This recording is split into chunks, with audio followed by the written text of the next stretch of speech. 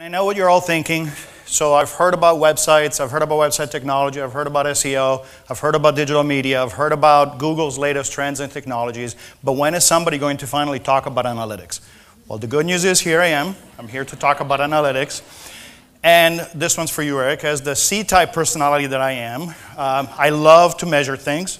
Analytics has been a passion of mine for a very long time, um, for 10 years, in fact. And Surprisingly enough, though, one of the things that uh, shocked me, quite honestly, when I was doing research for this presentation, is that despite the fact that analytics has been around for such a long time, as late as last year, according to Salesforce, only one third of chief marketing officers actually used analytics to measure their performance.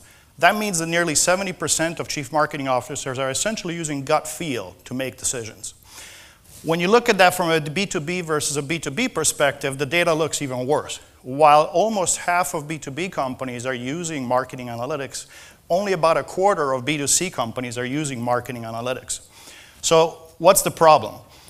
Well, before we get to why marketing analytics can be so challenging, it's also important to know that uh, marketing analytics basically comes down to a need for information. We've actually heard some comments here today from the previous presentations about how you measure performance. How do you know whether what you're doing is correct or not?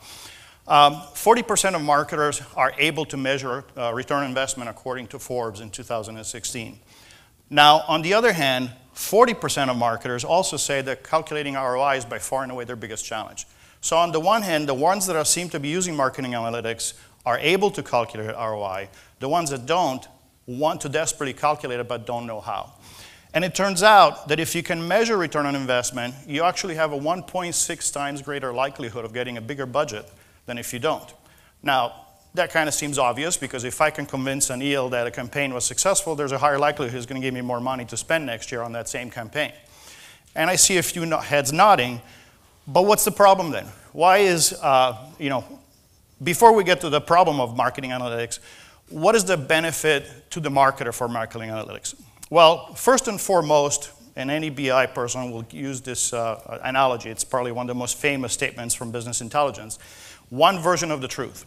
One of the single biggest challenges with doing analytics the old fashioned way on a spreadsheet is that the moment that spreadsheet leaves your computer, that information is no longer accurate. Because now that next person that got that spreadsheet made one change to it, they added a column, they insert a row, they changed some formatting, they accidentally changed a cell without knowing it, and all of a sudden that information is no longer accurate when it gets to the next recipient. The second important benefit to marketing analytics is that it improves data knowledge and security. So through a unified information distribution architecture, by having the same visual information for everybody, not only do you make every get everybody on the same page because they're all looking at the same piece of information the same way, but it also makes it easier to know who's looking at the information. Because after all, you're giving them access to the analytics platform. It's not just a spreadsheet out in the cloud that you're hoping doesn't get forwarded accidentally to your biggest competitor because the guy was actually trying to forward the email about the party that they're all going to next week, but he stuck the spreadsheet with the budget inside of it instead. And, you know, I, have seen it happen. Um, Third, faster time to knowledge. Anybody who's ever opened a spreadsheet and struggled with it's not loading, I can't get it to look right, I don't know how to work with pivot tables, knows that working with spreadsheets can be a very time consuming and frustrating experience. Less workload on your marketing staff. If you have marketing people doing marketing analytics and manually crunching through numbers, I know that you've heard the groans of your marketing staff looking at you saying, Really? I've got to spend a week crunching through numbers and getting data out of Facebook, getting data out of uh, Google, getting data out of all of my paid campaigns to put all this together for a spreadsheet when I could be doing my job, because my job isn't to put numbers together. And then finally, better insights. Because when you switch to an analytics platform, you're actually going to be able to consume data the way the human brain was designed to consume it, in a visual pattern rather than having to look at numbers. Not everybody loves to stare at numbers like I do. Most people actually hate it. So, what's the challenge? What's the problem? Why are people having such a tough time with marketing analytics? Well, it turns out that there are four big roadblocks to doing marketing analytics correctly. The first one is data sources. Unlike just about any part of the organization, marketing has by far and away access to more data sources than just about anybody else in the organization. Twitter, Facebook, uh, other forms of social media. Just in social media alone, you're dealing with tens, dozens of potential data sources uh, display advertising, PPC, your website. And the data sources have no common structure. So it's not like you can say, well, all, they all use the same common structure, they all look the same, they all have the same fields, relatively easy to dump them all in a spreadsheet to make them all look the same. You're talking about weeks worth of work to get all that to work. And even when you make the template to make it all work correctly, somebody like Facebook or Google changes a field on you, and now you got to fix the template all over again. The third one is different time intervals. On certain platforms, things matter on a second by second basis because things are happening in real time. On other platforms like your website, looking at things on a second by second basis is insanity unless you're running a business that requires it to look at on a second by second basis. So having a uniform time interval can be very challenging. And then finally, especially for a marketer, one of the biggest frustrations is if I need to measure return on investment, I need revenue information. Oftentimes, that's not as easily accessed as people may think. Right? So you have to have all of these problems solved before you can make marketing analytics work for you. Well, making that work looks a little bit like the slide that you see here. And it's a lot to take in. This is actually a fairly simplified version of the process that Milestone uses behind Milestone Analytics, our very own marketing analytics platform. Uh, it basically involves setting up connections to all your various data sources, normalizing all that, those data sources, mapping them to a common structure, testing to make sure that we're doing everything correctly, that there's no problems, validating the data that's coming through and the reports that are being generated to make sure that we're giving our customers concise and accurate information, and then repeating the whole process over and over again. A more simplified way of looking at this is to basically think about it from the perspective of on the left hand side there are the various data sources that we have access to, whether it's your website, media spend, uh, your local data, uh, reviews, social media, data from your website that's coming in, revenue information. We consolidate all of that information, we normalize it, and we then map it to a customer journey to give you a sense of how you're spending your money. So at this point, fairly straightforward, right? Well, it turns out, and this is by far and away in my experience, one of the biggest challenges of deploying analytics successfully, and where most people tend to fail. Uh, little statistics that I, a statistic that I debated throwing into the slideshow. Even as late as last year, 80% of business intelligence deployments fail. It is by far and away the largest uh, failure rate of any enterprise software that's sold in the market. This is the reason why because the vast majority of companies that deploy analytics don't think through the market, the reporting personas that they're deploying analytics for. They deploy analytics with an assumption that everybody's going to be looking at the same dashboard. Everybody's going to look at the same reports. The problem is different people in different types of organizations consume data differently, they have different kinds of needs, they have different kind of requirements. So it's very important that you tailor how you present the information, how you present analytics to the individual needs of your organization and to the individual needs of the profile of the person that's consuming that information. So let's walk through each one of these profiles. First up is the e-commerce manager. This is a screenshot from Milestone Analytics, our very own analytics platform, and we started down here at the level of the e-commerce manager. That was the first uh, customer profile that we sort of went after.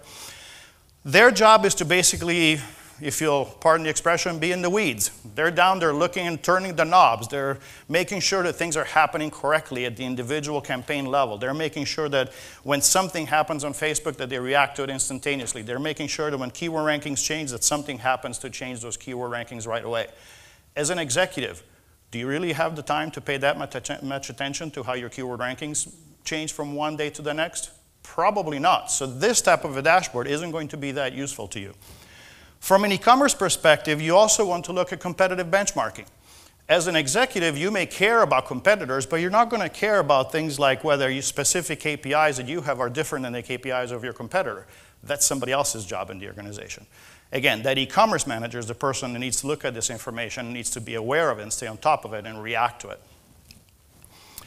From a marketer's perspective, if you're talking about the person that's actually managing the campaigns, that's actually managing the budget, your job, now my job, if I was managing this, my job is to look at how we're doing as an organization, how I'm spending my money, and how that money is being allocated across all of the various types of campaigns that I can run. So what, how am I optimizing my marketing spend? In this particular case, if I click down on awareness and I drill down, I can see that paid search, organic, and social are by far and away the things that tend to get most of the traffic that I need uh, for awareness.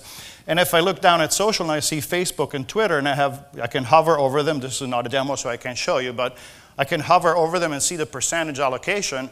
I can now look at that and compare that to my marketing spend and decide if I'm spending twice as much on Twitter ads as I am on Facebook, maybe I'm doing something wrong. Maybe I need to optimize my marketing spend. Again, is that something that the CEO of the company is going to really get that deep into? No, but I guarantee you the marketing guy is, right? So you have to have the right level of depth for the right person. Okay, so what about the executive? From an executive's perspective, and this is sort of a, a bit of a snapshot of things to come in marketing in our marketing analytics platform.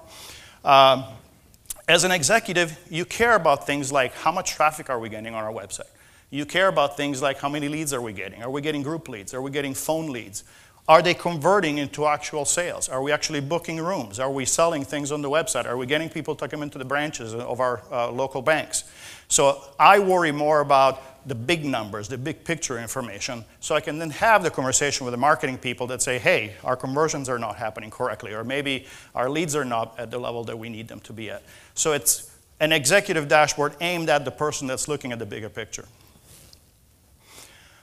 Now, this particular dashboard, uh, this sort of scorecard approach, this is geared more towards a very particular type of consumer that we've identified, which is very specific to the hospitality industry, where you're essentially looking at multi-group uh, or multi-level uh, properties. So I have uh, a dashboard, a scorecard that talks about all of the properties that are particular brands, uh, various key performance indicators for each one of them, and I have a bird's eye view of how I'm comparing across all the multiple properties that this particular company may have and may be managing, and all the brands that I'm working with. Again, giving me as a brand manager, giving me as the person that's responsible for all of these various independent properties, uh, the ability to see that organic view, that sort of overarching view of my entire business, right? So not having to make that determination based on looking at the dashboard that I had, uh, that the marketer was looking at, but looking at a dashboard that is specific to me. Finally, the enterprise. At the enterprise level, now you're talking about a sophisticated dashboard that provides a lot of drill down capabilities. Now you're talking about a dashboard that's ideally aimed really at the analyst in your organization. You're talking about dashboards that um, allow filtering, advanced visuals, that allow multi-dimensional analysis where you can go down in much deeper, greater lengths and depth because you have the data, you have the infrastructure that you need to support it. Uh, and this is also something that we're doing on a fairly select basis with some of our larger enterprise customers. So really the point is being able to look at your marketing analytics from the perspective of the person that's going to consume the information. By far and away, that's the biggest point that I wanted to bring across. So what's next for marketing analytics? Where is it going from a um, long-term perspective? By far and away, probably the most interesting and most useful, especially for our audience, um, advancement in technology is what's known as prescript, prescriptive analytics, which is easier said than done, uh, or other way around. Actually, it's probably easier done than said, as difficult as it may be. Um, and here the idea is basically to provide not just analysis of how you're doing, but provide recommendations of where to go next, how to optimize campaigns, how to uh, get better results on your investment based on what you're looking at. Very, very sophisticated type of technology, very, very user specific. Uh, this is going to get even more granular from a user profile and a customer perspective. Uh, something that we're doing a lot of research in right now. Uh, not ready to really talk about it just yet because we're still in the very early stages, but this is where marketing analytics is headed. Um, and beyond just digital marketing, the entire world of analytics is moving towards prescriptive, prescriptive analytics. So to wrap it up, digital marketing analytics, uh, what are some of the key takeaways? The first one is that despite the fact that, you know, it may not necessarily be the sexiest topic in the room, digital marketing analytics does pay off. You know, one of the oldest adages in the BI industry is you can't change that which you do not measure. Um, and the one time that you should listen to your C guys is when they're telling you, look, if you're not measuring it, odds are, you know, we're not going to be able to make any changes to it. Um, the second thing to remember is it doesn't have to be hard. And it doesn't have to. The only time marketing analytics, especially digital marketing analytics, becomes hard is if you choose to take the task of creating it onto your own shoulders. Because creating these dashboards, creating these data integrations, creating those connections, that's the hard part about marketing analytics.